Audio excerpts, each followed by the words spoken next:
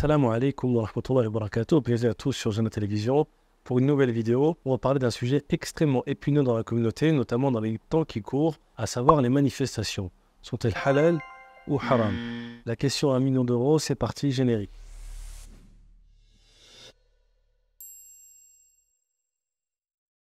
Avant d'entrer dans le vif du sujet, il est important de faire quelques rappels primordiaux. Nous, en tant que musulmans, on se base sur des textes clairs qui sont le Coran et la Sunna.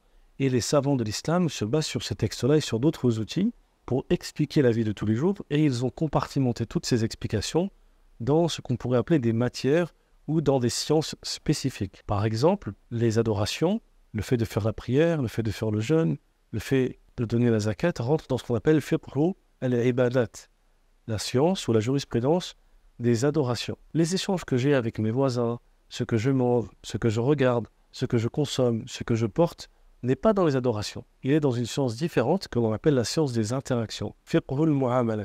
Et dans cette science, les règles sont différentes de la seconde, comme on va essayer de le voir. Et nous allons voir également que, en réalité, certaines questions, comme vous pouvez l'imaginer, elles ne sont pas aussi explicites et aussi simples, comme certains pourraient penser à le faire croire que forcément la solution est soit halal ou soit haram. Il y a différentes notions et différentes postures. À titre d'exemple, je peux prendre un savant musulman qui s'appelle Ibn al-Uthaymin. Ibn al-Uthaymin, c'est un seul savant où il a posé deux questions. Et face à ces deux questions, on va essayer de dire quelques passages. Il a eu deux réponses différentes. Première fois, on lui a demandé est-ce que les manifestations sont halal ou haram Cheikh Ibn al-Uthaymin, il nous dit إن المظاهرات لا تفيد بلا شك بل هي فتح باب للشر والفوضى. Il nous dit les mudaharat, les manifestations, ne sont en aucun cas utiles. Et elles sont la porte ouverte à tout le mal et à toutes les fitanes.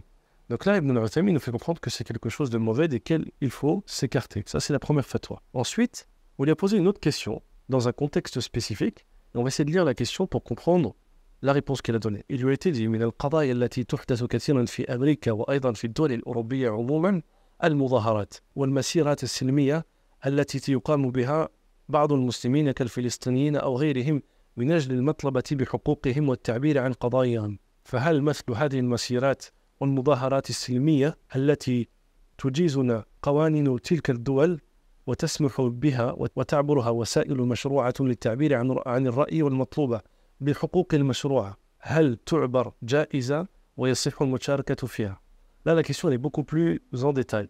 La personne lui dit il y a des affaires qui nous concernent à nous, qui vivons aux États-Unis ou dans des pays européens, qui s'appellent les manifestations ou les marches pacifiques. Il détaille un type de manifestation qui est différent, qui s'appelle les marches pacifiques, qui ont lieu dans certains pays non musulmans, dans lesquels certains musulmans, comme les Palestiniens ou autres, vont les effectuer pour demander certains de leurs droits. Et le fait que l'on écoute leurs droits et qu'on écoute leur situation, qu'on comprenne ce qu'ils vivent, est-ce que ce type d'assises ou est-ce que ce type d'événement est mauvais ou pas, sachant que la loi du pays nous le permet. Et le le même shir, a dit « al-zahiru أنه إذا كان ذلك في الدول التي لا يحصل بالمظاهرات فيها شيء من الفوضى والتمرد وأن هذا أمر طبيعي عندهم ولا يعين له وجها فلا بأس به. Il a dit, ce qui est clair, c'est que dans cette situation-là, dans ces pays où le fait de faire des manifestations est culturellement accepté, et où il n'y a pas de mal, il n'y a pas de choses qui sont mauvaises, alors il n'y a pas de mal à le faire. On voit qu'une seule personne a donné deux réponses. Donc on a besoin de rentrer un peu plus en détail. Et là, on rentre dans une notion supplémentaire en islam que l'on appelle la casuistique. La casuistique, qu'est-ce que c'est? Il n'y a pas de réponse parfois générique pour tout le monde. Il y a des réponses parfois qui sont au cas par cas. Par exemple, il y a des gens qui posent la question est-ce que le mariage est halal ou haram? Pour un musulman Et eh bien en fait, tout va dépendre de la personne qu'on a en face de nous. Il y a des personnes pour qui le mariage est haram. Il y a des personnes pour qui le mariage il est wajib, obligatoire. Il y a d'autres pour qui c'est une sunna. Il y a d'autres pour qui il est recommandé. Une personne qui est déjà mariée, une femme qui est déjà mariée, il lui est interdit de se remarier. Donc pour elle, le mariage est haram une personne qui n'est pas en capacité physique, psychique, mentale d'assumer une vie conjugale. Pareil, elle ne peut pas se marier. Donc c'est haram pour elle.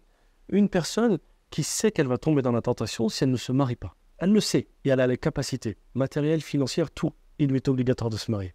Une personne, par exemple, qui est étudiant, qui n'a pas forcément tous les moyens, mais qui le souhaite, c'est recommandé pour elle. D'accord? Et eh bien là, c'est la même chose pour les manifestations. Venir sortir une photo d'un chef et dire voilà, cette photo est applicable tout le temps, ceci est le symbole de l'ignorance de celui qui parle et de la non-compréhension des valeurs, des principes et des préceptes de l'islam. L'islam, il y a des règles, mais elles évoluent en fonction du temps. D'accord? Et c'est d'ailleurs même le second point que l'on va aborder, l'islam nous fait comprendre qu'il y a trois types de situations dans la vie. Il y a les situations normales, les situations dites exceptionnelles et les situations dites d'urgence. Et en fonction de ces chaque situation, la religion, elle change. Prenons l'exemple par exemple de la prière. En situation normale, il est imposé pour chaque musulman de faire la prière et il fait partie des conditions de la validité de la prière de se lever, d'être debout pour faire takbirat al-ihram.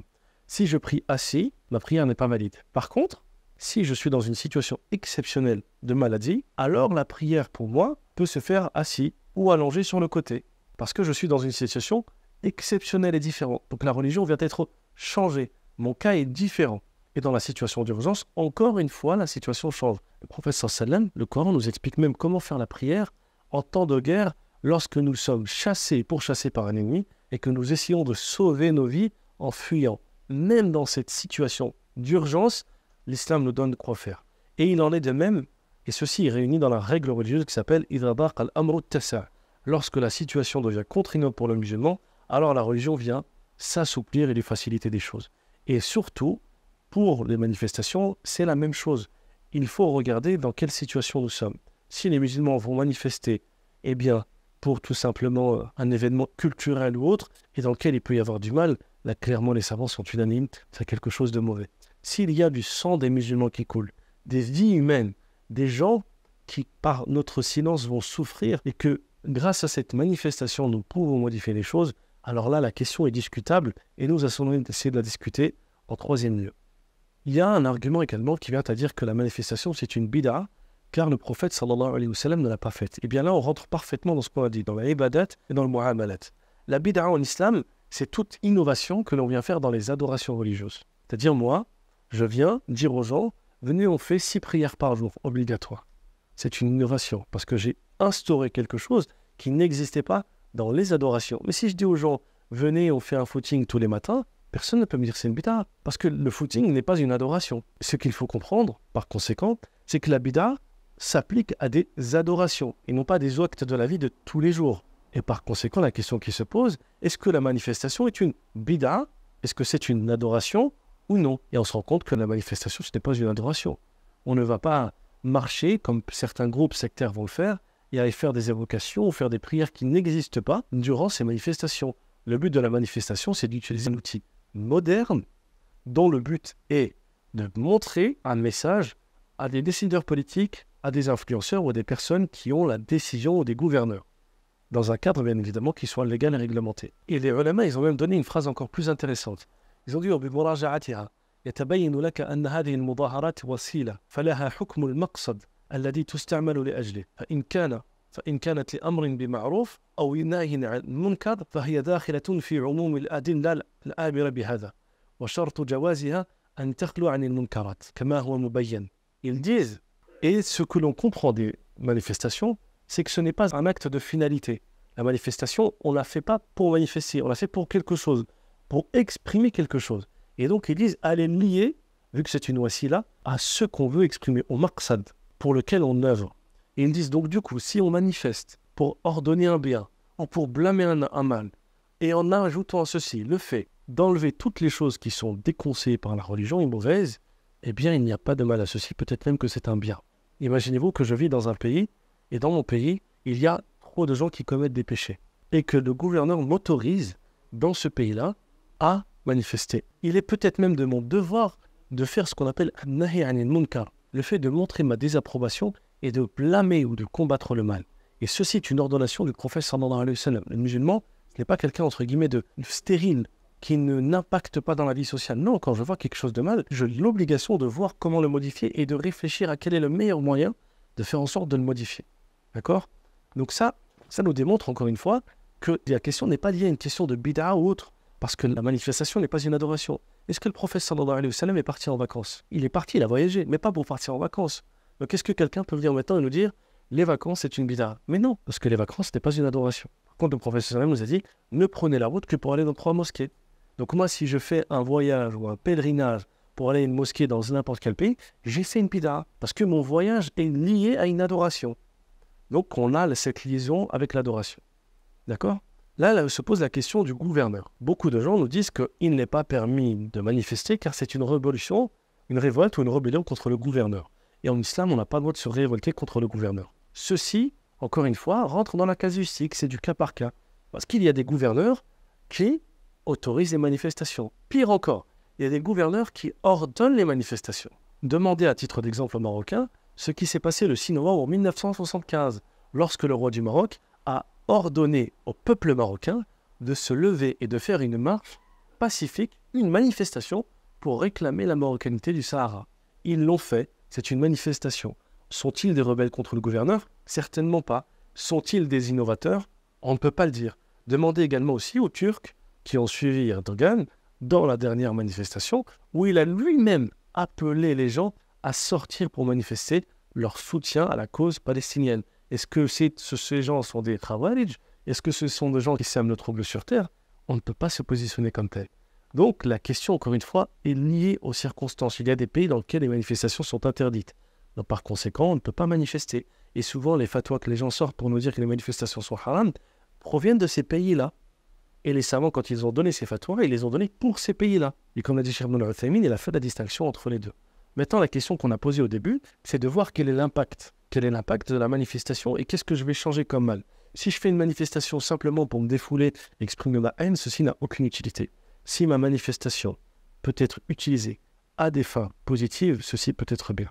Et le site spécialisé Bloomberg américain nous fait part que les manifestations dans le monde, et plus principalement dans le monde arabo-musulman, ont eu un impact lourd auprès de la Maison-Blanche, qui elle-même a mis une pression sur le gouvernement israélien et qui l'a imposé à accepter la première trêve de quelques jours qui a eu lieu. Beaucoup de gens disaient c'est à cause du Black Friday et tout, ça n'a rien à voir.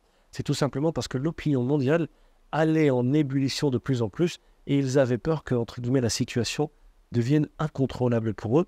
Et c'est, ils se sont basés sur les manifestations, le nombre de personnes, la durée, l'intensité, la fréquence, le nombre de fois où les gens manifestent. S'ils manifestent une fois de temps en temps, ils arrêtent, ils se disent, bon, moi, une fois, ils ont exprimé.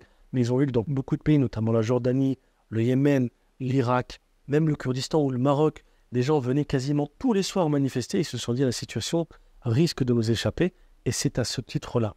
Parce que ces manifestations, dans ce contexte-là, ont eu un impact positif. Ces manifestations ont eu beaucoup d'impact même dans les pays occidentaux. En Grande-Bretagne, la manifestation pour la Palestine a été la manifestation historique la plus importante que la Grande-Bretagne ait connue de toute son histoire. Et elle a eu des impacts très, importants sur le Premier ministre, qui lui était pro-israélien. Il a revu un petit peu sa copie et il a tenu des propos qui sont quelques moins systématiques ou dangereux à l'égard des musulmans et des Palestiniens.